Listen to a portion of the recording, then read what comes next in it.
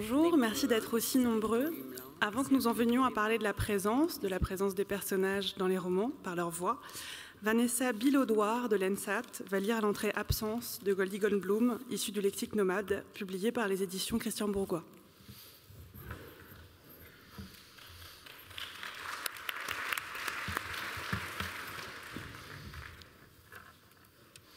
Absence. Ma grand-mère vivait à la campagne. Elle avait des cerisiers devant ses fenêtres. Elle avait du linge qui claquait sur un fil. Le vent était froid. Mais il y avait du feu dans la maison que mon grand-père avait construite de ses mains. Non loin de là, à la station baleinière, on décapitait des baleines. Ma grand-mère avait la vue basse. Son intérieur était plein de poussière. Avisant un écheveau de fil emmêlé sur une chaise, elle le fit disparaître d'un coup d'aspirateur. J'aurais dû ramasser mon tricot, dit-elle. Ce n'était pas du fil. Il s'agissait d'une araignée chasseuse, quelque chose comme une tarentule. Ses pattes s'agitèrent à l'extérieur du suceur. Puis, avec un slurp, elle fut aspirée. Je passai le doigt sur l'extrémité du tube pourquoi demandai-je. Ma grand-mère me répondit qu'un espace vide attire les choses à lui. À l'intérieur de l'aspirateur régnait le néant, et le néant, dit-elle, est une force puissante. Je réfléchis un moment à cette idée. Je repensais à cette image que j'avais vue tantôt de deux personnes face à face qui étaient un vase. Je pensais au trou noir. Je me dis, que l'absence d'un cœur était ce qui poussait le bonhomme de fer blanc à partir sur la route en briques jaunes, et que l'enfant que j'étais se trouvait souvent isolé, mon espace vide à moi. Je me demandais ce que je pouvais bien attirer à moi. En espérant que ce ne soit pas des araignées, j'avais peur que celles-là ne ressortent de l'aspirateur pour venir se repaître de mes doigts. À présent que je suis plus âgée, je me plais toujours à penser à la façon dont l'absence exerce une force d'attraction. Les photographies invisibles de Barthes, les voiles mouvants de Sixous, les mondes cachés au milieu des dunes de Crasse, la douleur fantôme de Scary, les gouvernements innommables de Muller, le père qui rapetisse de Schulz. Insu, incertitude mystère, obscurité, perte, le vide suscitant la création de l'arcane. La présence de l'absence demeure à mes yeux exquise et terrifiante. Goldie Goldblum.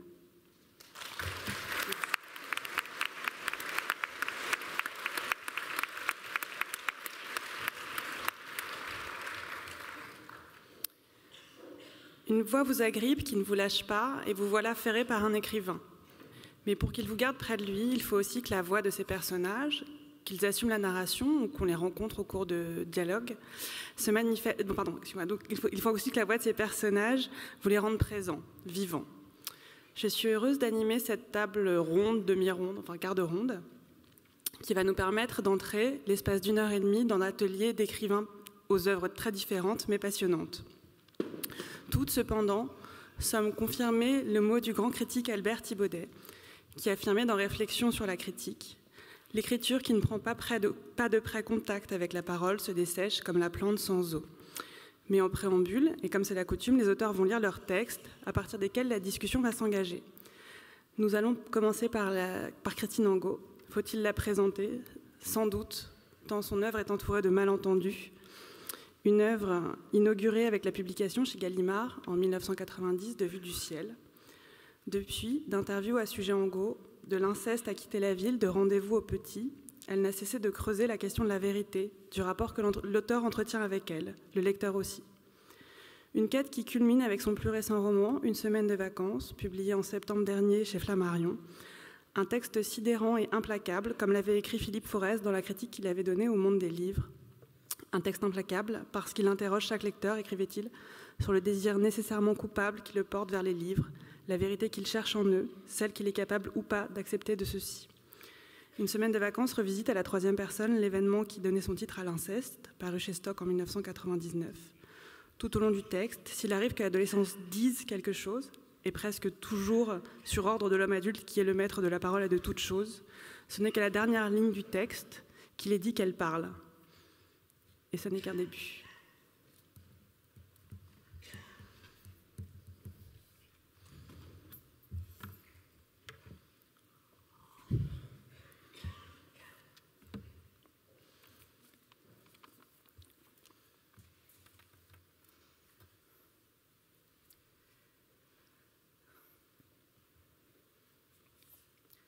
Comment faire parler ces personnages? C'est comment corriger l'erreur de la parole, des dialogues réels, ceux qu'on entend dans la vie, ceux des personnes réelles, entre elles, dans la société réelle, dit collectivement, le dialogue collectif. Ce dialogue-là nous permet très difficilement d'entendre la pensée. Les mots avant d'être la parole, c'est la pensée. La pensée ne peut être collective. Sinon, ce n'est plus de la pensée, mais de l'idéologie. La littérature veut corriger cette erreur dans laquelle les paroles réelles nous induisent, cette erreur angoissante, puisque porteuse de fausseté. Le désaccord entre mots et pensée, mots et sens, oui, nous angoisse. Donc, la littérature veut corriger cette erreur pour rétablir l'accord entre mots et sens, entre expression et intériorité, et ainsi rendre justice à ce qui est réellement, à ce qui se passe vraiment, à ce qui se parle vraiment. Réaccorder le piano qui s'était désaccordé et qui nous vrillait les oreilles. Quand les gens parlent, que parle-t-il Pourquoi la langue réelle nous angoisse? Pourquoi la langue littéraire nous libère? Nous fait du bien Tout simplement parce qu'elle ne nous ment pas. C'est aussi simple que ça. Alors, comment faire? D'abord, prendre acte de la dimension collective qui est une des raisons principales du fait que le piano s'est trouvé désaccordé. De façon à montrer que ce n'est pas l'instrument langage qui est défectueux, que les mots fonctionnent bien, que les touches savent encore faire des notes justes, mais que c'était l'interprétation qui n'allait pas et qu'il faut par conséquent tout rejouer. Reprendre la partition à zéro, une fois le piano réaccordé. Car c'est pour ça que nous étions angoissés, parce que notre instrument humain par excellence, le langage, ce qui signe notre appartenance à l'espèce humaine, jouait faux. Tout d'abord, il faut admettre que le dialogue collectif doit être éliminé. Il faut donc se séparer du plan social, réel, et créer un autre plan qu'on appelle fictif, la fiction. Et ensuite, confier cet espace-là, irréel, qu'on crée, à un narrateur tout seul, qui fera le récit et à qui on donnera un pronom personnel. Un jeu, s'il fait partie du récit, c'est peut-être un narrateur omniscient qui n'en fait pas partie. Et ce narrateur monologuera. Donc, premièrement, on installe sur le tabouret du piano un narrateur, on le choisit, on le fait, l'auteur lui accorde sa confiance pour rétablir la note. Il doit travailler en premier la parole de ce narrateur. C'est son premier personnage, celui qui tient tout et dont tout dépend. Il peut faire partie du récit, être un narrateur personnage ou pas. Il peut être extérieur au récit et le voir, le connaître et le rapporter au lecteur, l'apporter au lecteur, qui est son seul interlocuteur. Le narrateur ne s'adresse jamais au personnage, mais au lecteur. Le discours réel est faux. Pour être juste, le discours du texte ne doit donc pas imiter le réel. Une fois que le narrateur est installé sur son tabouret et qu'on lui a fait confiance, et bien qu'il ne soit spécialiste d'aucun des problèmes sociaux, intimes, politiques que le roman va aborder, il se lance. Il dit. Il ne commente pas, mais il fait le récit. Et son discours prend en charge les protagonistes de l'histoire du livre qu'on appelle les personnages, qu'ils soient l'un d'eux ou pas et sa parole règle les entrées et les sorties des personnages, des intervenants et bien sûr leur texte, entre guillemets éventuellement. Mais les personnages, à la différence des personnes, n'ont pas la haute main sur leurs paroles. Non, non, non. Ça, ça n'existe pas dans la littérature. C'est le narrateur qui, par la façon dont il met en scène tout ça, oriente l'interprétation qu'en fera le lecteur. Les personnages ne parlent pas, ils se taisent, à la différence des personnes réelles. Les personnages disent des phrases, mais ces phrases, quelles qu'elles soient, y compris bien sûr si l'auteur les a même enregistrées dans la vie réelle, disent enfin la vérité, même si les mots sont les mêmes que dans le réel, parce que là, le contexte a changé. Nous sommes dans l'espace irréel. Le piano est réaccordé. Les mots ont retrouvé leur sens. Et on entend enfin ce que ça veut dire, le sens. Donc, la question n'est pas comment faire parler ces personnages, mais comment les faire taire, de façon à faire entendre leurs pensées à travers les mots et le récit du narrateur. Et avant tout ça, l'auteur lui-même doit se taire lui-même. Il ne dit rien. Il tait ce qu'il pense, car l'auteur pense faux tant qu'il n'a pas trouvé son narrateur. Et ne l'a pas mis devant son piano accordé pour que tout paraisse enfin limpide au lecteur, qui se tait aussi, pour entendre les personnages, pour entendre ce qu'ils ne disent pas, puisqu'ils ne parlent pas dans le livre, mais pensent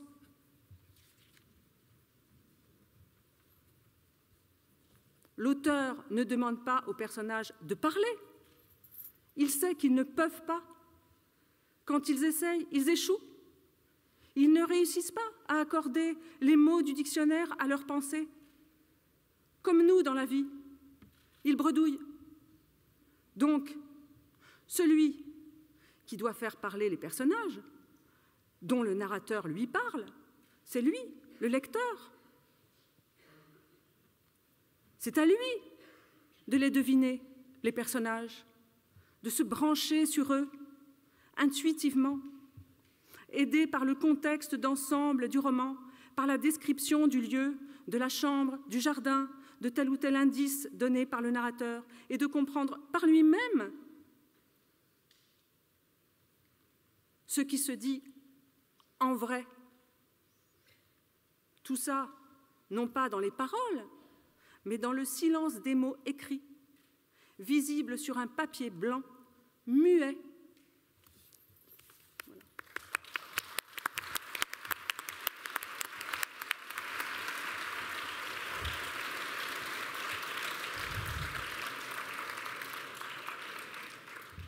Nous allons maintenant entendre Ronit Matalon. Elle a été journaliste de télévision et de presse écrite. Désormais professeure de littérature comparée, elle s'est imposée dès 1995 et la publication en hébreu de son premier roman, De face sur la photo, comme l'une des voix les plus puissantes de la littérature israélienne contemporaine. Elle a introduit dans l'hébreu des mots d'arabe et de français, ceux des immigrés venus, comme sa famille originaire d'Égypte, des pays arabes. Le bruit de nos pas, superbement traduit par Rosie Pinas Delpuech, son unique roman paru en France à ce jour, évoque dans une langue magnifique le destin d'une famille visiblement déclassée, installée dans une baraque branlante.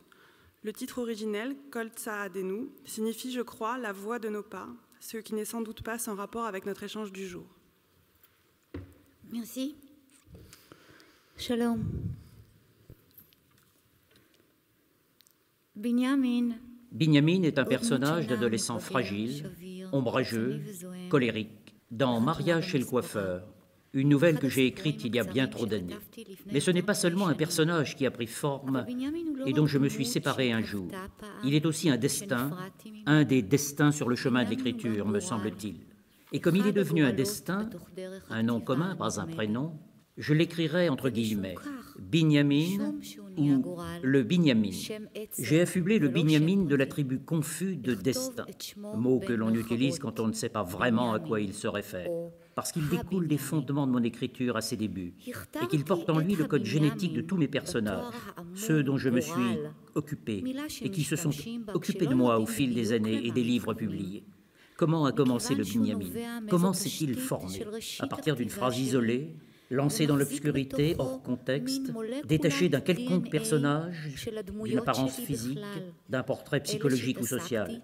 La phrase que Binyamin dit au personnage féminin de la nouvelle, Mariage chez le coiffeur, et qui plus tard figure à la fin de la nouvelle, est, je ne sais pas, on dirait que tu n'es pas là de tout cœur, Comment dire Tu n'es jamais de tout cœur ici. Cette phrase du Binyamin incluait tout, tout ce qui importe, tout ce qui m'était essentiel dans ce personnage.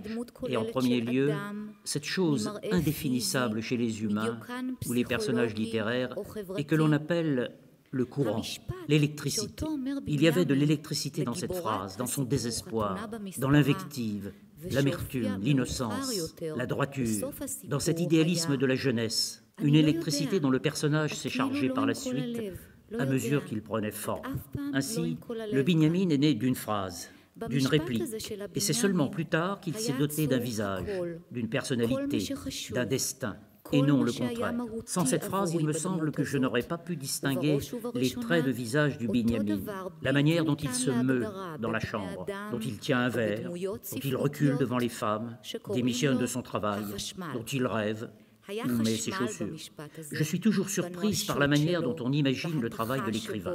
On suppose que la création d'un personnage obéit à un processus qui est exactement le contraire de celui que j'ai décrit. On croit que l'auteur tient d'abord un personnage et que seulement après, il lui colle des phrases, comme de la décoration ou des plumes, que l'on rajoute à un déguisement. Il me semble que cette manière de faire a quelque chose de mécanique, alors que j'aspire plutôt à une entité organique. La diction, le vocabulaire et le ton de mon Binyamin doivent être le prolongement naturel de la forme de sa mâchoire, de la taille de ses mains, de ses idées éventuelles sur le conflit israélo-palestinien. Voir la voix du personnage serait ainsi le début du processus qui peut-être le révèle à nos yeux. Le fait d'établir un lien entre la capacité de voir le personnage et le verset « Tout le peuple voyait les voix » Exode 25 n'est pas de la coquetterie de ma part. C'est là que me conduisent les merveilleux souterrains de la langue hébraïque. Et toujours dans le même ordre d'idées, je crois qu'il est erroné de penser que seul le peuple voit les voix, que seul l'écrivain est celui qui écoute de toutes ses forces la voix de son Binyamin. En fait, les voix aussi voient le peuple. Et le Binyamin de tout écrivain écoute la conscience et la main de celui qui le pense et en quelque sorte le crée. Il s'agit d'un processus réciproque, d'écoute mutuelle, grâce auquel se produit une fécondation réciproque, la création d'un personnage littéraire qui n'est pas en carton et qui tend sans cesse vers l'illusion d'une plénitude humaine, vers ce courant électrique auquel j'ai déjà fait allusion. En tant qu'autorité narrative, lorsque je pense à mes personnages, à tous ces Binyamin qui ont dit quelque chose à quelqu'un ou à eux-mêmes, j'ai l'impression qu'ils m'ont élevé, au moins autant que je les ai élevés. Ils m'ont appris à parler dans l'écriture, peut-être plus que je ne leur ai appris à articuler des mots, des phrases, des sentiments et des idées. Cet instant dans la prose, où l'on sent comment le parler du personnage, son articulation particulière, s'introduit dans le parler de l'autorité narrative, est un moment de joie et d'élan qui a une dimension anarchique. Or, les barrières entre l'autorité narrative et ses personnages s'effondrent presque et s'écoulent l'un vers l'autre, l'un dans l'autre.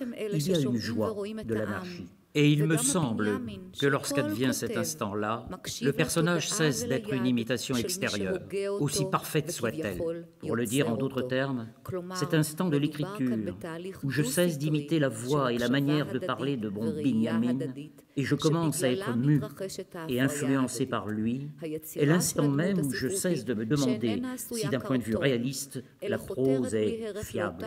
Et je reporte mon regard un degré au-dessus. Je me demande si elle est vivante, débordante de vie, électrisante.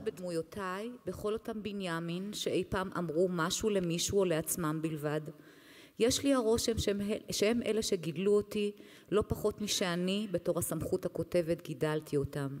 שהם אלה שלימדו אותי לדבר בכתיבה לא פחות ואולי יותר משלימדתי אני אותם להגות מילים ומשפטים ורגשות ורעיונות. הרגע הזה בכתיבת פרוזה שבו חשים כיצד הדיבור של הדמות, הנוסח המיוחד שלה, חודר לנוסח הדיבור של הסמכות הכותבת, של המחבר. הרגע הזה בעיניי הוא מלא שמחה ותנופה.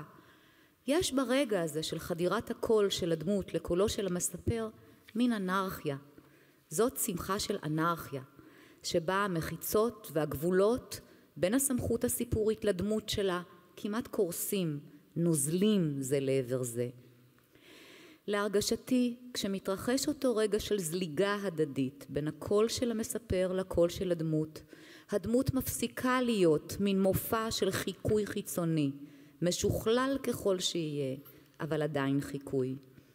אומר זאת אחרת, הרגע בכתיבה שבו אני מפסיקה לחקות את קולו ואת אורח דיבורו של הבנימין שלי ומתחילה להיות מופעלת ומושפעת ממנו הוא הרגע שבו מפסיקים לשאול אם הפרוזה היא אמינה מבחינה ריאליסטית אלא נושאים את המבט למדרגה גבוהה יותר של שאיפה ושואלים אם היא חיה, אם יש בה חיים שוקקים של ממש. חשמל.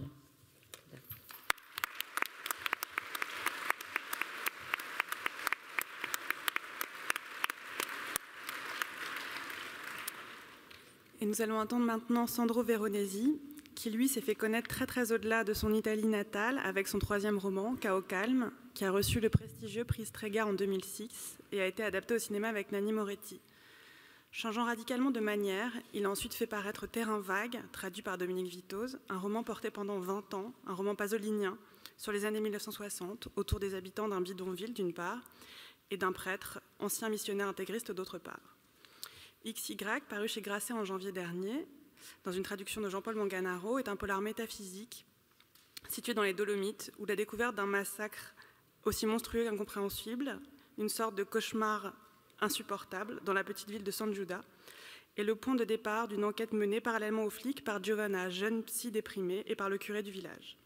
Cette enquête au cœur du mal se construit sur un aller-retour constant entre passages narratifs et passages dialogiques.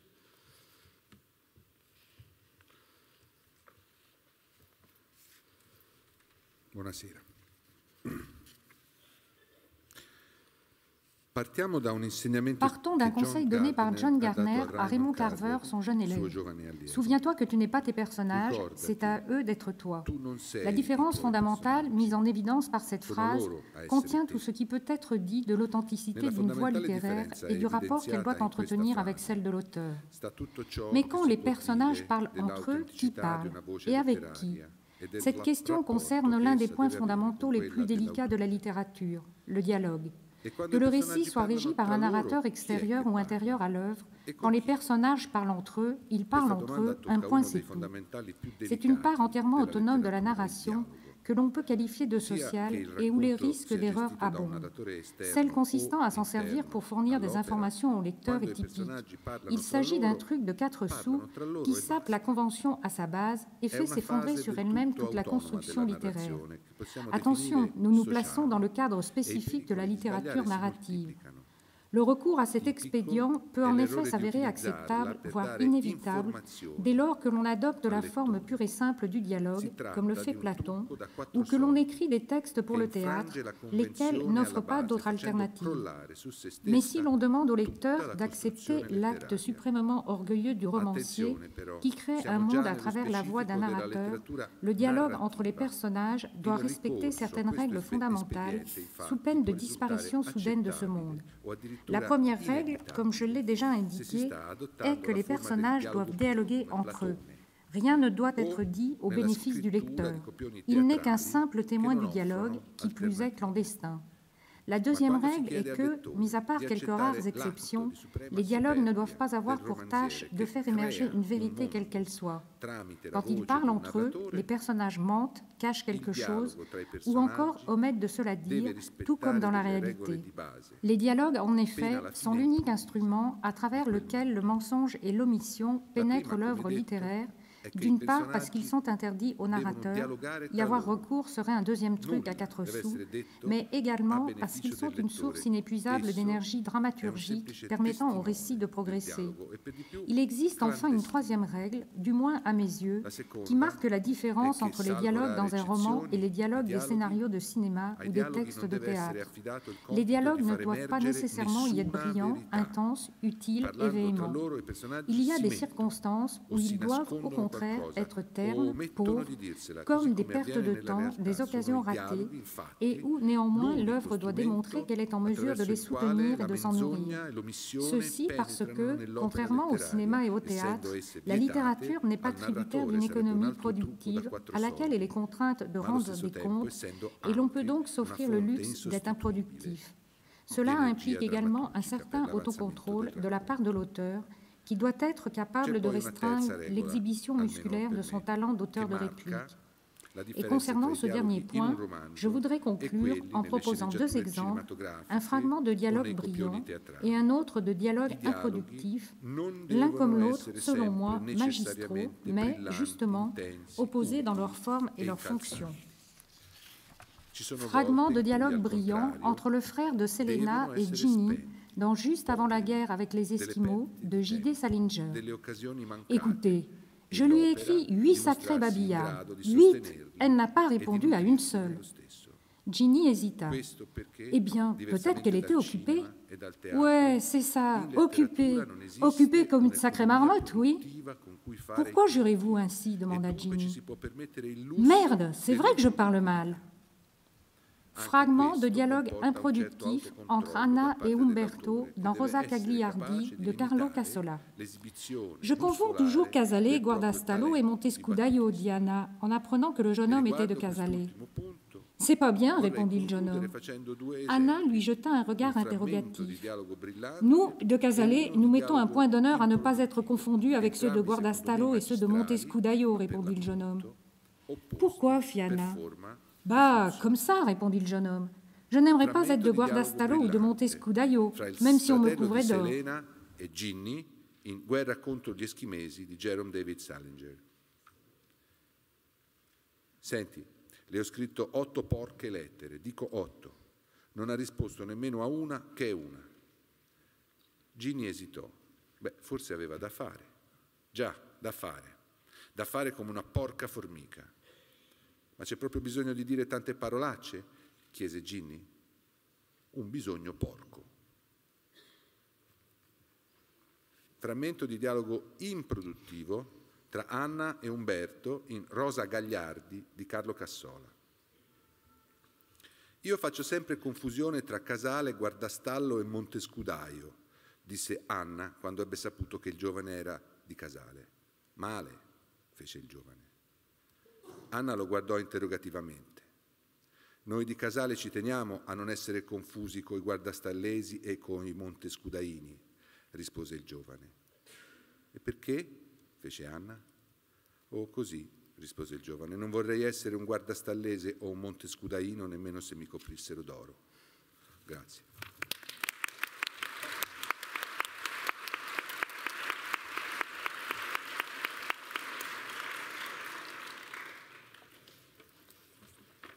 Alors, je, voudrais commencer par ce qui pourrait sembler être euh, un point de discorde important entre ce qu'affirme euh, Christine Angot et ce que dit euh, Sandro Veneronesi.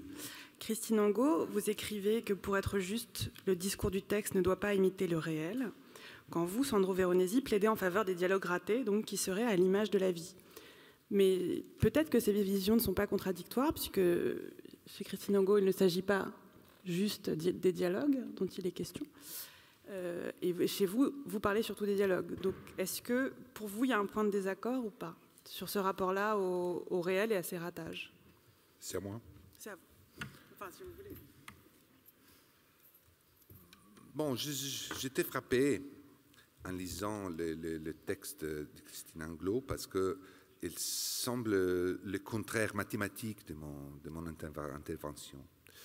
Et, et je crois que j'ai trouvé le point de, des bouleversements. Euh, le point, c'est l'idée de la vérité ou de la mensonge, mais surtout l'idée qu'on a du silence. Dans le texte que j'ai beaucoup apprécié parce qu'il a quelque chose de véritablement beckettien, que Christine Anglo nous a, nous a lu, on arrive au silence. Ça, c'est le point d'arrivée euh, de l'écriture. Moi, j'aime beaucoup le silence dans la littérature, mais j'ai une, je garde une très mauvaise impression du silence en général. Je pense du silence ce que Hannibal Troilo, c'est un, un musicien de tango argentin, dit dans une mémorable chanson qu'il a écrite. Je le dis en italien, parce que je le connais en italien. Porto rancore al silenzio e alla sua muta bugia. Je crois que le silence, c'est mensonge. Alors, je pense que la littérature peut transporter tous les mensonges du monde et le dialogue en cette fonction-là de transporter les mensonges, parce que le mensonge est de l'énergie, mais je pense que le silence, le cancer du silence, ne doit entrer dans la littérature. Et d'une façon philosophique ou linguistique, je, peux dire que que j'aime beaucoup la littérature du silence parce que ce n'est pas silencieuse. Il y a le mot silence qui prend la place du silence. Et à ce moment-là, le silence ne manque plus. Mais quand le mot manque, dans ce moment-là, l'omission, c'est la mensonge sûr. Ça, c'est mon c'est ma pensée, pas seulement sur la littérature, et c'est la raison que m'a conduit à, lire un texte qui semble, et peut-être, euh, peut-être est le contraire de celui que Christine Anglo a, lu et que j'ai apprécié quand même. À vous alors.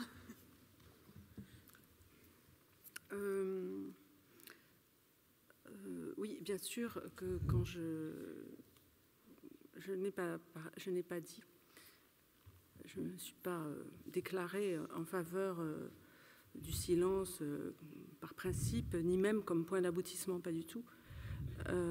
J'ai dit que, puisque la question qu'on nous pose, c'est comment faire parler ces personnages, j'ai dit comment les faire taire, puisque ce qui m'intéresse chez les personnages, ce n'est pas de les entendre parler, mais c'est de enfin entendre ce qu'ils pensent.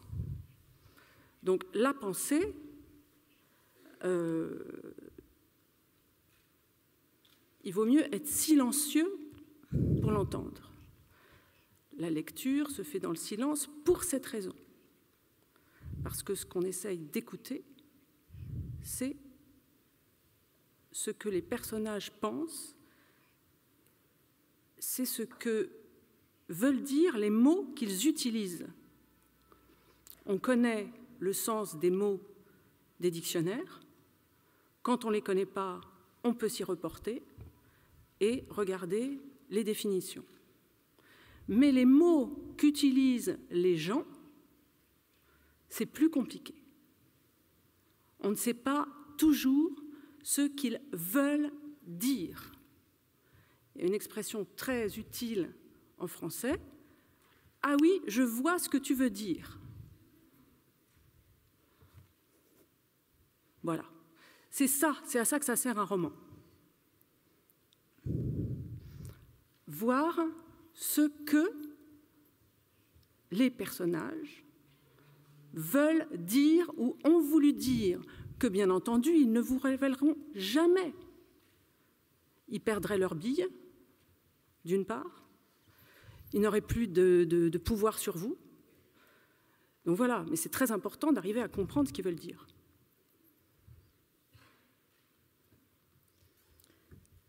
Ronit Matalon, j'aimerais savoir ce que vous, vous pensez de, cette question du, rapport au discours réel et à la manière de mimer ou non les ratages de la vie.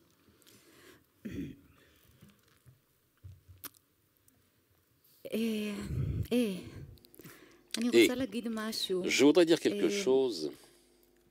Je ne sais pas si ça va gâcher cette fête de l'universalisme, parce que toute ce festival de la Villa Gilet est fondé sur euh, l'idée d'universalité de la littérature. Mais la littérature a des aspects universels. Bien sûr, on peut comprendre un écrivain scandinave, on peut comprendre et adhérer à Sandro, un italien, on peut comprendre Christine, mais jusqu'à une certaine limite. Il y a une limite qui n'est pas universelle, qui est particulière, qui est nationale, nationaliste. On ne peut pas le traduire, on ne peut pas le transmettre. Et donc, même des notions comme le silence changent de culture à culture. Je pense au silence israélien. Il est tellement différent du silence français, il est tellement différent du silence arabe, il est à l'évidence différent du silence scandinave. Et les liens entre le silence et la parole, dans chaque culture, dans chaque langue, dans chaque littérature, ce sont des liens différents, complètement. Bien entendu, je ne vous apprends rien, mais je dois le dire ici. et vous rappeler ces côtés de la littérature qui ne sont absolument pas universels. Ils sont particuliers. Et en tant qu'écrivain israélien qui écrit en hébreu et que l'on traduit en français, par exemple, je me sens, et je sens que la chose la plus difficile à traduire dans la littérature, c'est le dialogue. C'est le lieu le plus difficile, le plus secret le plus personnel d'une culture et d'une langue. Christine et Sandro. Et toi, Raphaël? Eh bien, vous allez prendre le métro, vous allez entendre quelqu'un qui dit une phrase, et en trois minutes, vous allez savoir quelle est la position sociale de la personne qui parle, dans quelle école il a appris, est-ce qu'il a quitté l'école, qui étaient ses parents, est-ce que ce sont des immigrés en France ou des gens qui ont vécu en France pendant des dizaines d'années? C'est-à-dire que lorsque nous, en tant que parlant une langue, écrivain d'une langue, lorsque nous entendons quelqu'un qui parle cette langue, nous avons tout un éventail d'instincts, d'associations, de connotations n'est-ce pas, avec une seule phrase. Et donc le dialogue, les dialogues dans un texte traduit, ce sont les choses qui sont les plus difficiles à transmettre et à tisser d'une langue à l'autre. Je vais vous donner un exemple, si vous voulez bien. Par exemple, le, le changement de la langue hébraïque. C'est incroyable, les changements qui interviennent dans la langue hébraïque. Pendant que je parle, ma langue change. Je sens parfois que la langue hébreu est une énorme bête qui, en tant qu'écrivain, je dois lui passer la main sur le corps parce que tout le temps, il y a de la chaleur ou du froid ou un changement à la surface de cette peau. Et il y a des pans entiers du Talmud, de la Mishnah, de l'arabe, du polonais, de la langue militaire. Toutes ces couches fonctionnent ensemble dans la langue hébraïque. Et vous savez quoi? Imaginez une scène entre un enfant israélien qui fait sa bar mitzvah. Les, les Israéliens aiment beaucoup faire cette fête de la bar mitzvah 500 personnes avec la peine, vous savez, la joie. Tout ça est très public chez nous. On, ne peut pas avoir du plaisir avec moins de 500 personnes à la fois. Et donc cet enfant qui a sa bar mitzvah ne veut pas aller à la bar mitzvah. Il ne veut pas sortir de la chambre, de sa chambre. Vous savez ce qui se passe? En deux minutes, sa famille et ses proches commencent à parler de la situation en termes militaires. Ils parlent de cet enfant qui s'enferme dans sa chambre comme si c'était un terroriste prêt à s'immoler, avec un jargon de tous les journalistes qui parlent à la télé. Donc, dans les scènes les plus intimes de la vie familiale, il y a un langage militaire, soudain. Comment traduire ça en français? Et c'est un dialogue, ce sont les personnages qui parlent. Eh bien, la langue est aussi de la politique, il ne faut pas oublier ça. Euh, la, psychologue, bien sûr, la psychologie, la sociologie, mais c'est aussi de la politique. Il n'y a pas mieux que la langue pour être le sismographe le plus sensible d'une culture. Merci. Raphaël, est-ce que je peux répondre? Je voudrais...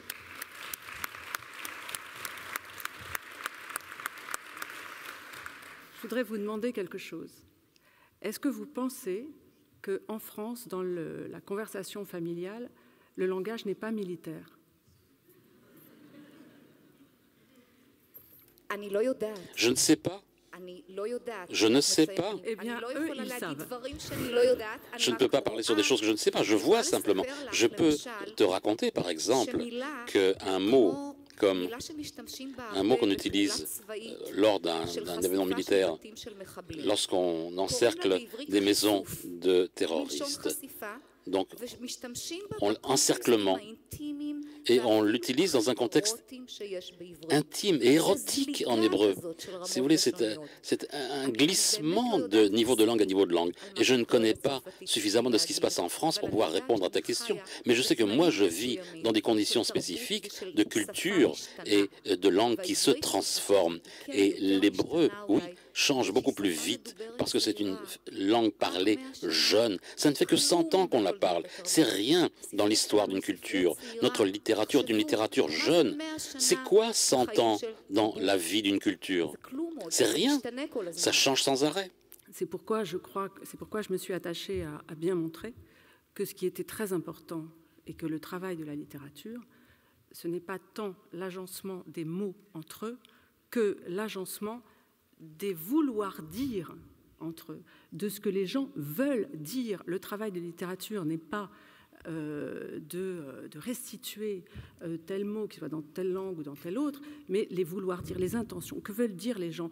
Quelles sont leurs positions militaires, par exemple, dans tous les pays? Et ça, évidemment, parce que peut-être qu'en effet, il y a des traductions nécessaires, mais je pense quand même que la littérature est une chose universelle, il y en a très peu.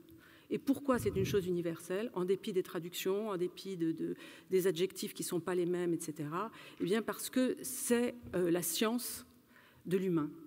Voilà, tout simplement. Et euh, ça, euh, jusqu'à nouvel ordre, mais je dis bien jusqu'à nouvel ordre parce que c'est en train de changer. L'humain, c'est quand même ce qu'on partage et c'est universel. Et on a la littérature pour nous aider à comprendre ce qu'on veut dire dans toutes les langues. C'est pourquoi je pense que, enfin moi je ne suis pas prête du tout. Vous savez, j'ai eu un père traducteur qui parlait 25 ou 30 langues. Donc, euh, et pour autant, je pense que sa maîtrise euh, des diverses traductions ne lui a pas forcément donné accès à ce que chacun de ces mots voulait dire. Je crois que c'est ça qu'on a à faire quand on lit. Donc moi, je ne me laisserai pas intimider par la question de ne pas parler telle ou telle langue. J'ai été très intimidée pendant toute mon adolescence par toutes ces langues qui parlaient. Je me disais que, évidemment, j'en parlerai jamais autant. Mais je pense que je comprends beaucoup plus de choses que ce qu'il a jamais compris. je suis d'accord avec toi. Aucune discussion possible, évidemment, c'est absurde. J'ai aucune discussion sur l'aspect universel de la culture que, que ça et, Christine peuvent, peuvent, en témoigner. Mais je voulais simplement pointer sur le lieu du dialogue, là où les personnages parlent, le lieu le plus particulier d'une culture. C'est le lieu le plus particulier. Vous savez, les descriptions, les descriptions du euh, paysage, de la culture. Ça, c'est assez universel. Mais à partir du moment où un individu ouvre la bouche à un moment donné dans une culture C'est un moment excessivement particulier, national. Je me souviens de mes discussions, les gens les plus proches de moi dans euh, la culture des traducteurs. J'adore les traducteurs parce que ce sont eux qui font euh, se rencontrer les cultures, c'est eux qui font passer d'une culture à l'autre. Et je sais que le moment le plus difficile dans une traduction, c'est traduire un dialogue. C'est le plus difficile de traduire un dialogue et de faire passer. Parfois dans un dialogue, par exemple, chez Sandro, par exemple, ou chez, Christine, pour comprendre exactement quels sont euh, les personnages et ce qu'ils disent. Il me faudra deux colonnes avec dans les marges des, descriptions pour comprendre ce que vous, Français, comprenez. Parce qu'une langue parlée n'est pas simplement... Simplement un écho, c'est un écho des choses, c'est pas simplement une description. C'est pas de quoi les gens parlent ou ce que ça signifie, mais où est-ce que ça a un écho. Et l'écho, c'est peut-être la chose que nous perdons dans la traduction, l'écho des choses, plus que le sens. Et c'est ça que je voulais dire. Alors, avant la traduction et l'écriture, et si le dialogue est ce qu'il y a de plus difficile à traduire, on dit aussi, en tout cas en France, que c'est ce qu'il y a de plus difficile à écrire. Est-ce que vous partagez ce point de vue, Christine Angot? Et après, ben, j'aimerais vos points de vue pour savoir si en italien ou en hébreu aussi, c'est ce qu'il y a de plus difficile comme, euh, comme travail pour le romancier. De toute façon, dans, cette, euh, dans, cette, question qui nous a été posée de comment faire parler ces personnages, je ne me suis pas spécifiquement, je me suis pas spécialement euh, interrogée sur la question du dialogue, euh, puisque les personnages ont mille manières d'être audibles autrement que le, le, dialogue et qu'on peut parler de toutes sortes de façons, pas seulement en utilisant des mots. mais en tout cas, je, ce qui me gêne un petit peu, moi, quand on dit euh, oui, le dialogue, c'est ce qu'il y a de plus difficile à écrire, c'est qu'on fait apparaître, euh, non, je ne suis pas d'accord avec cette manière de voir, euh, qu'on fait apparaître tout d'un coup l'écriture comme un artisanat où il y aurait des, voilà, comme si c'était une pièce de bois ou de, marbre, où il y avait des trucs un peu plus difficiles à poncer, d'autres un peu plus difficiles à, voilà, parce que je sais pas quoi, enfin bon, bref. Et non, je ne crois pas, je ne vois pas du tout, du tout, du tout les choses comme ça. Euh, je crois que ce qui est difficile, c'est euh, de comprendre ce qui se joue, ce qui se passe dans la vie réelle. C'est ça le travail de l'écrivain, mon avis, c'est de voir ce qui se passe dans la vie réelle. Une fois qu'il le voit, euh, c'est de décider, c'est de se poser la question s'il est capable d'en rendre compte, s'il peut en rendre compte. Et c'est ça qui est difficile. C'est ça. Votre avis, Sandro, qu'on n'a pas entendu récemment?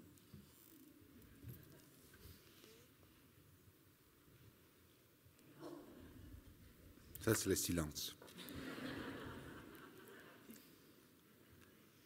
Non, bon, et je crois que, bien sûr, il y a la spécificité de la langue, la spécificité pas seulement de la langue, mais je pense à l'arabe littéraire qui va couvrir euh, très différentes réalités, et très différentes traditions et très différentes façons de dialoguer. Mais la langue, c'est la même. Euh, et, alors, il y a cette différence dont, surtout, je suis d'accord avec Ronit, le dialogue donne témoignage, qu'on va perdre cette, euh, cette différence quand on va le traduire. Mais c'est déjà un miracle qu'on peut traduire une œuvre littéraire. On va perdre quelque chose, bien sûr, lost in translation, mais, mais c'est normal. C'est normal, ça fait partie du jeu. Ce que m'intéresse beaucoup aujourd'hui, particulièrement, c'est le, euh, car j'avais jamais pensé euh, que vraiment que la littérature que j'ai fait pouvait, pouvait rejoindre le sens de l'existence des autres. C'est déjà quelque chose, si je, si vais chercher le sens de mon existence et que on peut penser qu'il y a quelque chose d'irréel à propos de la littérature, parce que la littérature, c'est de la langue.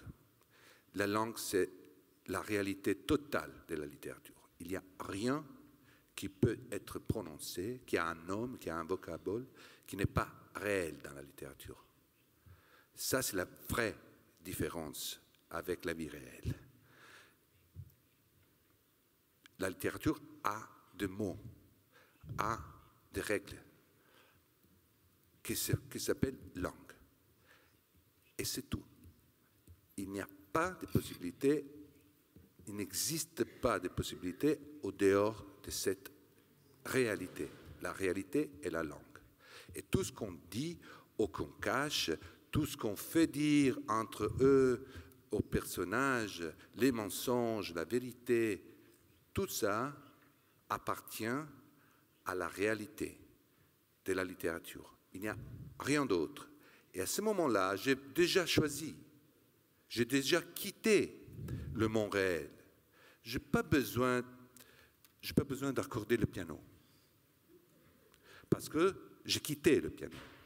Je suis dans un autre endroit où le mot piano est accordé, parce qu'il n'y a pas de piano, il y a le mot piano. Il y a toujours un mot, et ça, c'est le filtre. Et un mot, comme vous disiez très bien, un mot fonctionne. Un mot fonctionne toujours.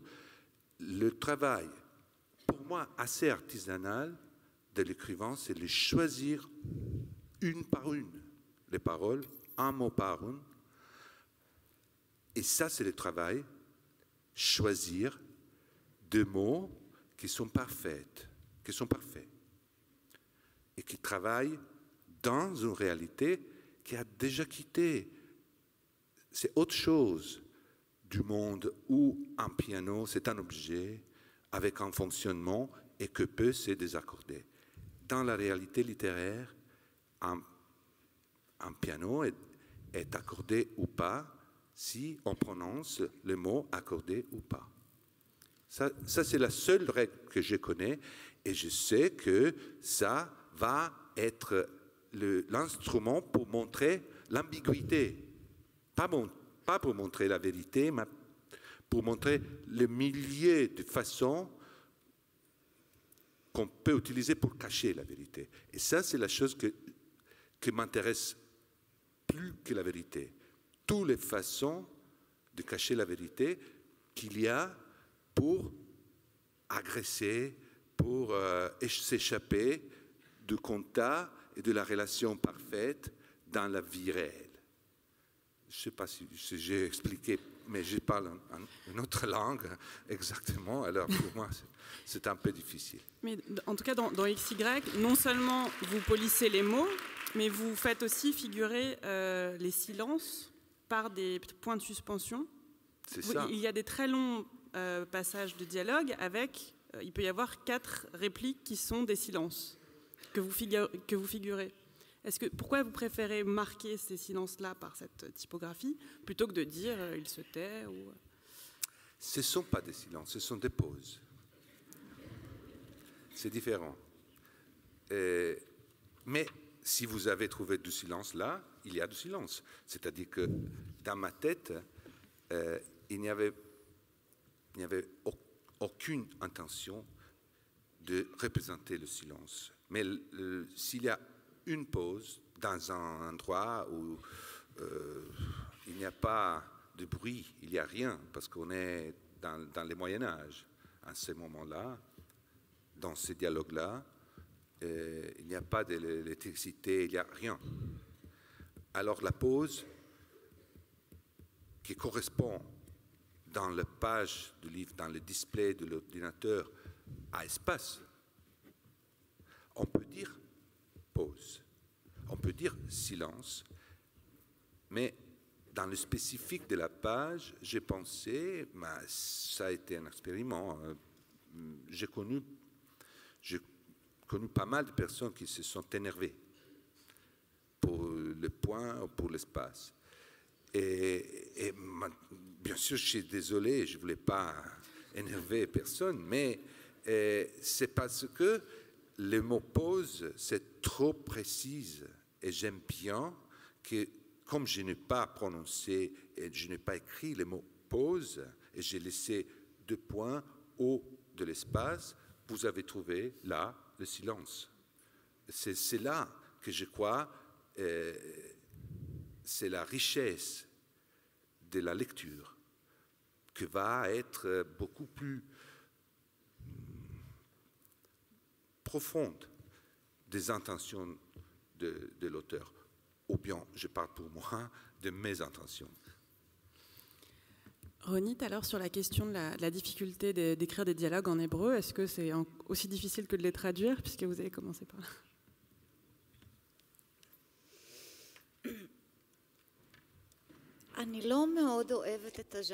Je n'aime pas beaucoup euh, le genre d'écrivains qui se plaignent de leur travail. Donc je ne vais pas me plaindre devant vous, euh, si c'est dur ou si c'est pas dur. Oui, bien sûr, c'est dur, mais il est plus dur d'être euh, ouvrier dans l'industrie du textile 12 heures par jour. Bien sûr, ça c'est beaucoup plus dur que d'être un écrivain. Donc il est difficile d'écrire des dialogues, certes, mais il est difficile d'être un homme, un être humain, hein, plus que d'être un écrivain. Mais vous savez que pour moi, un des problèmes, lorsque j'ai commencé à écrire, vous parlez, euh, vous dites les personnages prononcent des mots. Mais quels sont les mots que prononcent mes personnages? Dans mon monde, dans le monde dans lequel j'ai grandi, le monde de la famille dans lequel j'ai grandi, qui est véritablement le lieu de croissance de tout écrivain, on commençait une phrase en français, au milieu c'était en et on finissait en hébreu. Alors quelle était, leur langue? Quelle langue allaient parler mes personnages? Est-ce que c'est clair que mes personnages vont parler l'hébreu? Mais c'est pas évident du tout. Pendant de longues années, dans la prose israélienne, il y avait un accord que tous les immigrants qui sont arrivés en terre d'Israël, en Israël-Palestine, qui parlaient différentes langues, eh bien, les écrivains le transféraient, le traduisaient en hébreu. Et donc, en hébreu, on avait des paroles d'immigrés de Pologne, de l'Irak, qui parlaient un hébreu exceptionnellement pur. Mais vous savez, à mon avis, c'était un des plus grands mensonges de notre culture. Et quand j'ai commencé à écrire mes romans, il fallait laisser la langue dans laquelle les gens parlaient en réalité. Et c'est en vérité, c'était une phrase qui commençait en arabe, qui se poursuivait en français, qui arrivait à un mot en italien et se terminait en hébreu. Parce que c'était en fait la langue brisée, cette non-langue. C'était finalement, c'était mon défi quand j'ai dû écrire. Comment piéger cet endroit où tous ces mondes se rencontraient, qui crée un non-lieu, mais qui crée aussi un lieu neuf. Un lieu où, quand ma grand-mère disait Allah, ça, ne savait pas si le Allah était musulman, chrétien ou juif. Mais en fait, elle n'avait pas besoin non plus de l'expliquer parce que l'expérience de la langue multiculturelle, multilinguistique, soutenait que pour comprendre quelque chose, il ne fallait pas comprendre exactement chaque mot. Elle s'opposait à cette compréhension exacte de chaque terme. Il fallait comprendre l'esprit des choses. Et donc, lorsque les personnages ont commencé à parler dans les romans, la décision, la première décision sur le plan de la prose israélienne a été de leur laisser leur langue. Cette langue que moi, en tant qu'enfant israélienne, qui voulait faire partie de cette culture israélienne, eh bien j'en avais honte. J'avais honte de cette langue de mes parents. J'avais honte de la langue de ma grand-mère. Lorsque la radio parlait en arabe et que j'avais des copines qui venaient de l'école à la maison, j'allais vite voir ma grand-mère. Je disais éteins la radio pour qu'ils n'entendent pas la radio en arabe. Et peut-être que la littérature, c'est une façon de demander pardon, une façon de demander pardon des langues dont j'avais honte. Et il y avait un pardon. On peut demander pardon. On peut demander pardon de la honte que j'avais de ces langues.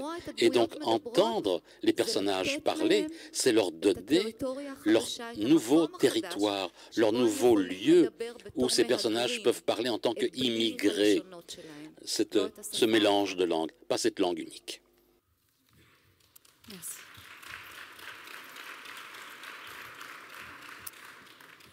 Les Assises internationales du roman sont une merveilleuse parenthèse à l'extérieur d'un monde qui gronde, et pourtant l'actualité les rattrape un peu. Et euh, Christine Angot, il me semblerait difficile de ne pas évoquer euh, le fait que vous avez été condamné à verser des dommages et intérêts à une femme qui s'était reconnue dans un de vos personnages. Je voudrais dire quelque chose avant. Euh, je ne sais pas comment l'exprimer parce que c'est un tout petit peu délicat, mais euh, je voudrais dire que je vous ai parlé de mon père qui était traducteur, mais j'ai aussi une branche maternelle. Il se trouve que par cette branche maternelle, avec qui j'ai grandi, j'ai aussi grandi dans la proximité d'ouvrières du textile et qui travaillait donc en effet 12 heures par jour. Et euh, je peux vous dire que pour une ouvrière du textile qui travaille 12 heures par jour, c'est super important qu'elle sache, qu'elle puisse admirer un autre travail que celui qu'elle fait et qu'une ouvrière du textile est prête à accepter et à comprendre que le travail d'un écrivain peut être tout aussi difficile que le sien, euh, parce que justement, il doit rendre compte, entre autres, peut-être, de la situation dans laquelle elle se trouve, par exemple. Euh, donc, je veux dire que je ne souscris pas euh, à cette position qui fait que parce qu'on a un travail qui est un travail artistique, j'entends toujours des acteurs à la télévision dire Ah oui, je sors de tournage, on me demande si le tournage a été difficile, c'est tellement plus plus facile que d'être caissière à Monoprix. Qu'est-ce qu'on en sait? Qu'est-ce qu'on en sait C'est tout. Donc j'en viens à, cette question de l'actualité qui nous rattrape. Et donc vous avez été euh, condamné à verser dommages et intérêts à une femme qui s'était reconnue dans un personnage central des petits, Hélène. Lorsque cette Élise Bidois vous avait attaqué, vous aviez fait paraître un texte où vous faisiez falloir l'autonomie d'un personnage littéraire par rapport au réel. Vous ne vous êtes pas exprimé depuis la condamnation euh, qui a été prononcée le 23 mai. Est-ce que vous souhaitez le faire maintenant?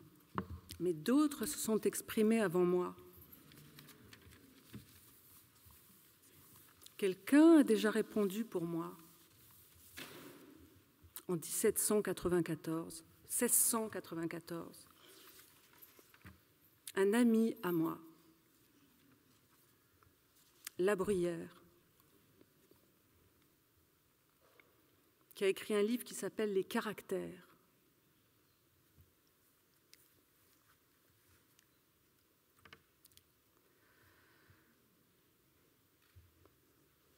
Voilà ce qu'il dit en préface de son livre Les caractères. Je rends au public ce qu'il m'a prêté j'ai emprunté de lui la matière de cet ouvrage. Il est juste que, l'ayant achevé avec toute l'attention pour la vérité dont je suis capable, et qu'il mérite de moi, je lui en fasse la restitution. Il peut regarder avec loisir ce portrait que j'ai fait de lui d'après nature. Et s'il se connaît quelques-uns des défauts que je touche, sans corriger, c'est l'unique fin que l'on doit se proposer en écrivant, et le succès aussi, que l'on doit moins se promettre. Mais comme les hommes ne se dégoûtent point du vice, il ne faut pas aussi se lasser de leur reprocher. Il serait peut-être pire s'ils venaient à manquer de censeurs ou de critiques. C'est ce qui fait que l'on prêche et que l'on écrit. L'orateur et l'écrivain ne sauraient vaincre la joie qu'ils ont d'être applaudis. Mais ils devraient rougir d'eux-mêmes s'ils n'avaient cherché par leurs discours ou par leurs écrits que des éloges. Outre que l'approbation la plus sûre et la moins équivoque est le changement de mœurs et la réformation de ceux qui les lisent ou qui les écoutent. On ne doit parler on ne doit écrire que pour l'instruction. Et s'il arrive que l'on plaise, il ne faut pas néanmoins s'en repentir si cela sert à insinuer et à faire recevoir les vérités qui doivent instruire. Quand donc il s'est glissé dans un livre quelques pensées ou quelques réflexions qui n'ont ni le feu ni le tour, ni la vivacité des autres, bien qu'elles semblent y être admises pour la variété, pour délasser l'esprit, pour le rendre plus présent et plus attentif à ce qui va suivre, à moins que d'ailleurs elle ne soit sensible, familière, instructive, accommodée au simple peuple, qu'il n'est pas permis de négliger, le lecteur peut les condamner et l'auteur les doit proscrire. Voilà la règle. Il y en a une autre, et que j'ai intérêt que l'on veuille suivre, qui est de ne pas perdre mon titre de vue. Et de penser toujours, et dans toute la lecture de cet ouvrage, que ce sont les caractères ou les mœurs de ce siècle que je décris. Car, bien que je les tire souvent de la cour de France et des hommes de ma nation, on ne peut pas néanmoins les restreindre à une seule cour, ni les renfermer en un seul pays, sans que mon livre ne perde beaucoup de son étendue et de son utilité, ne s'écarte du plan que je me suis fait d'y peindre les hommes en général, comme des raisons qui entrent dans l'ordre des chapitres et dans une certaine suite insensible des réflexions qui les composent. Après cette précaution si nécessaire, et dont on pénètre assez les conséquences, je crois, je crois pouvoir protester contre tout chagrin, toute plainte, toute maligne interprétation, toute fausse application et toute censure, contre les froids plaisants et les lecteurs mal intentionnés. Il faut savoir lire et ensuite se taire ou pouvoir rapporter ce qu'on a lu et ni plus ni moins que ce qu'on a lu. Et si on le peut quelquefois, ce n'est pas assez. Il faut encore le vouloir faire sans ces conditions qu'un auteur exact et scrupuleux est en droit d'exiger de certains esprits pour l'unique récompense de son travail. Je doute que cet auteur doive continuer d'écrire, s'il préfère du moins sa propre satisfaction à l'utilité de plusieurs et aux ailes de la vérité.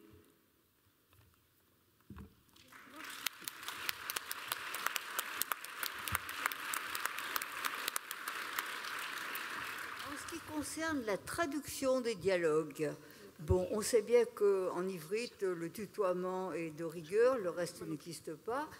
En italien, c'est beaucoup plus compliqué. Il y a la troisième personne du singulier, il y a le tutoiement aussi, mais il y a dans la littérature plusieurs formes euh, pour se dire vous. Et en français, il y a deux personnes possibles. Comment est-ce que le traducteur arrive à saisir la nuance d'une personne qui dira vous ou d'une personne qui tutoiera.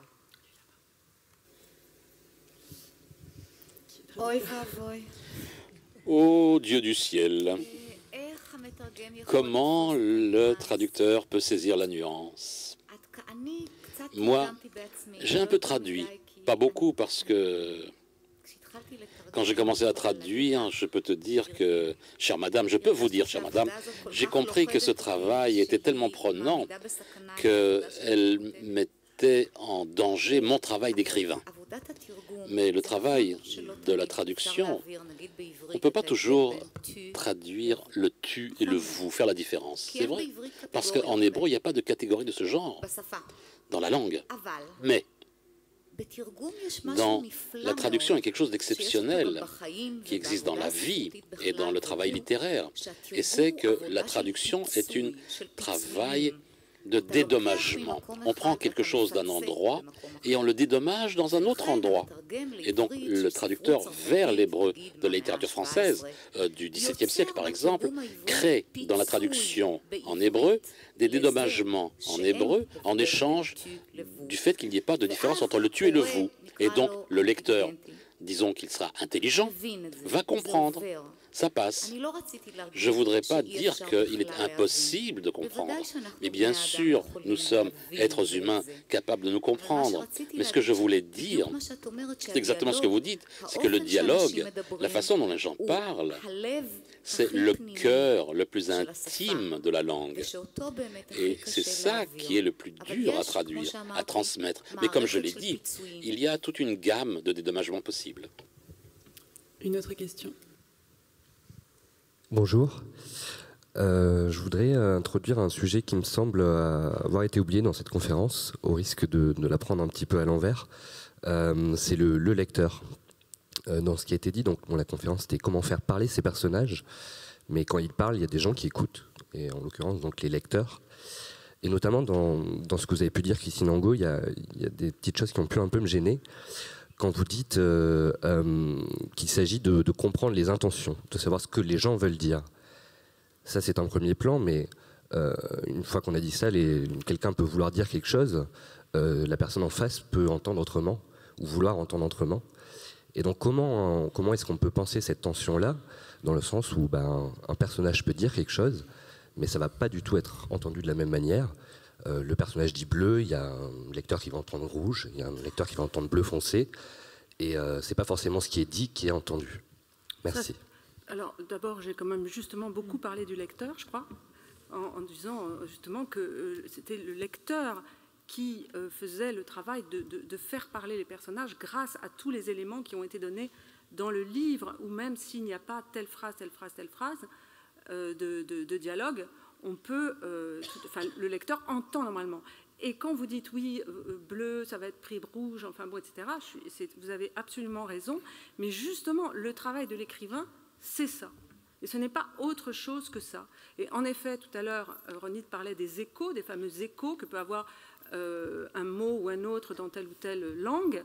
Parce que ce que vous faites, vous ne travaillez pas sur le mot bleu ou sur le mot rouge, vous travaillez sur les échos du mot bleu ou les échos du mot rouge. C'est là-dessus que vous travaillez, c'est avec ça que vous faites votre phrase. Vous ne faites pas votre phrase avec les mots, vous faites votre phrase avec les échos des mots. C'est pour ça qu'il y a un écrivain qui nous a tout expliqué aussi il y a longtemps, moins longtemps que la Bruyère, mais c'était Rimbaud, quand il a fait voyelle.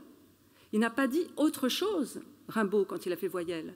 Il, il a été beaucoup plus loin que le mot, il a été sur les lettres. Il a été chercher les voyelles elles-mêmes. Il a dit, voyons, d'accord, moi je vous dis telle voyelle, mais voilà, je vous rendre plus loin que la voyelle, je vais plus loin. Je vous dis la couleur de la voyelle. Bon, donc le travail de l'écrivain, c'est ça. C'est ça. Donc normalement, un auteur honnête, un lecteur honnête, comme le dit la Bruyère, qui lit ce qui est écrit, ni plus ni moins, il n'y a pas de malentendu possible. Normalement, il n'y en a pas. Si, tout le monde est honnête, il n'y en a pas.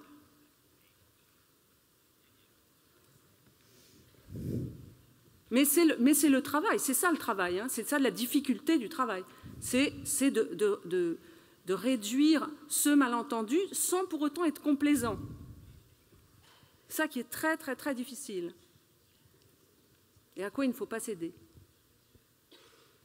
c'est ce travail, c'est-à-dire vous, vous écrivez et en même temps que vous écrivez, vous lisez ce que le lecteur va entendre. Et vous faites attention, vous protégez le lecteur. Vous, faites, en fait, ce que vous dirigez, plus que la phrase, c'est l'écoute du lecteur, c'est-à-dire comment ça s'entend. Ce n'est pas tellement comment ça s'écrit qui compte, c'est comment ça s'entend. Et la façon dont ça s'entend vous aide. Moi, par exemple, quand je corrige, il y, a un long moment où je corrige le manuscrit, je le relis, je relis, je relis, je relis, je relis, je relis. Et pourquoi je le relis tant que ça? Parce que je le relis jusqu'à ce que j'acquière la certitude qu'il n'y a pas des trucs bizarres qu'on va entendre euh, et que je n'aurais pas souhaité. Voilà. Bon, après, euh, si c'est un abruti qui lit, j'y suis pour rien. Une question au deuxième rang. Au deuxième rang, là, monsieur.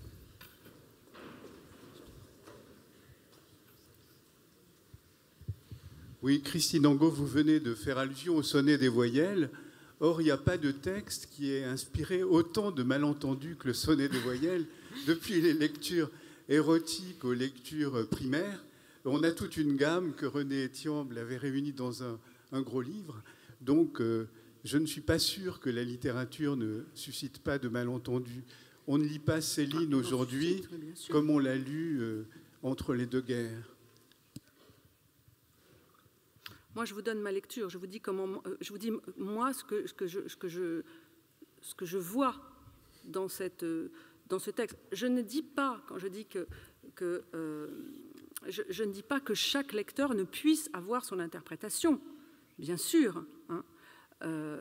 et, ça, bien sûr, il y a l'interprétation personnelle l'usage personnel qu'on va faire de tel ou tel livre. Hein. Mais euh, il y a aussi les mauvaises intentions. Évidemment qu'un texte rayonne. C'est ça sa beauté. Il rayonne. Il est... Même vous, vous dites entre les deux guerres, mais même vous, vous lisez. Moi, je, lis Voyelle l'année du bac, et je lis Voyelle maintenant. Euh, voilà. C'est comme entre les deux guerres. C'est pas, vous je ne lis pas du tout de la même façon. Bien sûr. Voilà. Mais le texte, lui, il a son équilibre. De toute façon, et les mots, eux, ils sont à moi de les percevoir dans tout ce qu'ils ont. Pour que vous puissiez rencontrer les, auteurs pendant une bonne demi-heure euh, à l'espace librairie, il nous reste le temps d'une question.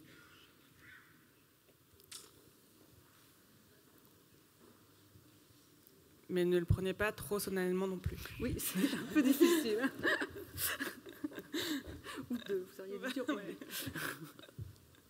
non. Voilà, du coup, bah voilà.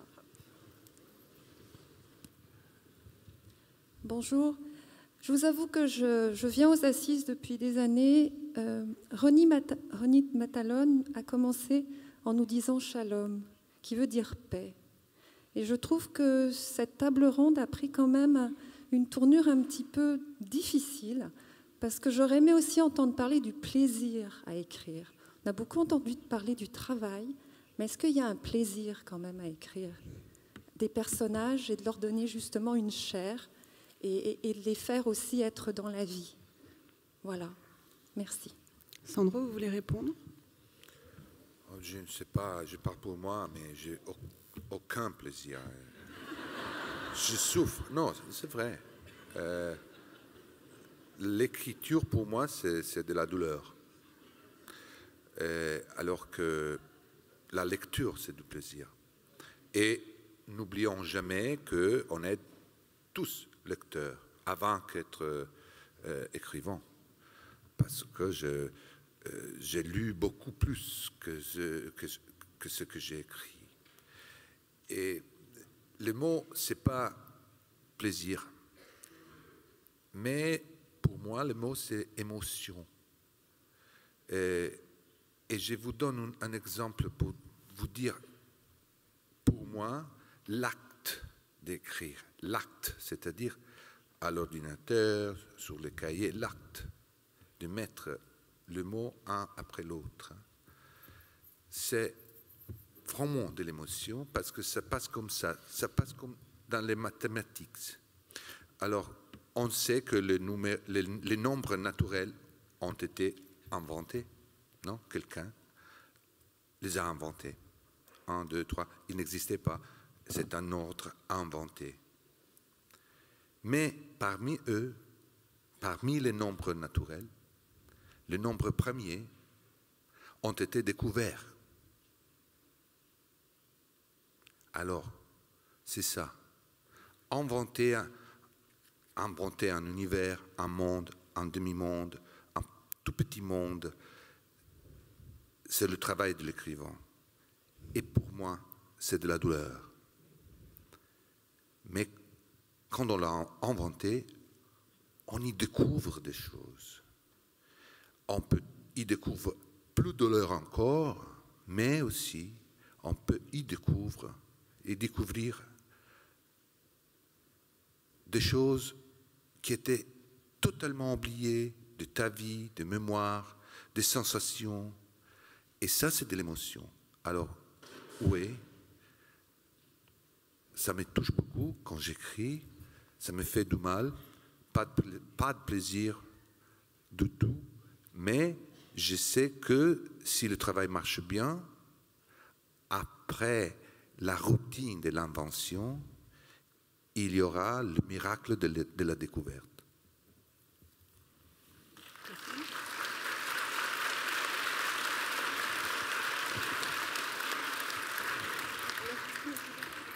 Et dans mon cas, je voulais vous répondre aussi parce que, euh, en effet, euh, comme vous, le, mot plaisir, je ne le sens pas adapté, mais parce que euh, j'utiliserai un mot beaucoup, beaucoup plus fort que le mot plaisir, qui est le mot joie. C'est vraiment une joie, très, très grande joie. À vrai dire, j'en connais pas de plus grande. et pourquoi cette joie? Euh, alors qu'il y a tant de difficultés, dont en effet on a parlé, tant de difficultés, tant de voilà, de, doutes, de tout ça. Bon, eh bien parce que la joie que tout soit clair, que les choses sont claires, et donc vous dites, mais voilà, ça va devenir clair, et tout le monde va comprendre. Et là, je, je rejoins le fameux mot d'ouverture qui vous a plu. Hein. et donc, ça veut dire quoi? Ça veut dire un espoir de paix. C'est ça que ça veut dire. Si tout d'un coup c'est clair, si tout d'un coup tout le monde comprend, dans un monde idéal, qui est celui que vous recherchez, sinon euh, si vous ne recherchez pas un monde idéal, je ne vois pas pourquoi vous écrivez. Autant vous contenter du monde réel. Non, vous cherchez un monde idéal, c'est celui-là qui vous intéresse. Bon. Et tout devient clair dans le monde idéal. Donc vous avez un espoir de paix. C'est ça qui vous donne la joie. Et alors, vous la joie, le bonheur, l'amusement? Merci beaucoup de cette merveilleuse question. Tout d'abord, en ce qui concerne le mot shalom en hébreu, c'est bien entendu, c'est la racine du mot shalom, c'est la complétude. La, racine du mot shalom, c'est complétude. Et Yeshayahu a dit Shalom, shalom, et il n'y a pas de shalom, paix, paix, il n'y a pas de paix. Isaïe a dit ça, le prophète Isaïe. En fait, je suis désolé de dire la vérité, de dire le fait qu'en général, les gens qui écrivent, ils écrivent parce qu'ils ont un clou dans le pied. Sans ce clou dans la plante du pied, il me semble que ce serait très difficile d'arriver à une situation d'écriture. Pour arriver, hein, pour faire cette chose terrible de s'asseoir à côté d'une table, devant une table, pas gagner beaucoup d'argent dans quel que soit ce domaine. J'ai beaucoup payé pour, parce que je me suis occupé de ces papiers, comme disait ma maman. Et il faut vraiment avoir mal quelque part. Et avoir mal quelque part, quel qu'il soit, même chose lorsque on peut appeler ça blessure, c'est celui qui nous amène à cet endroit de l'écriture.